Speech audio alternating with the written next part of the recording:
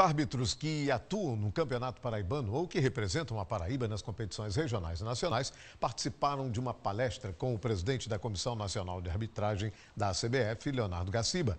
O evento está acontecendo em um hotel na Orla do Cabo Branco, aqui na capital. Gaciba já foi eleito por quatro vezes melhor árbitro do Brasil.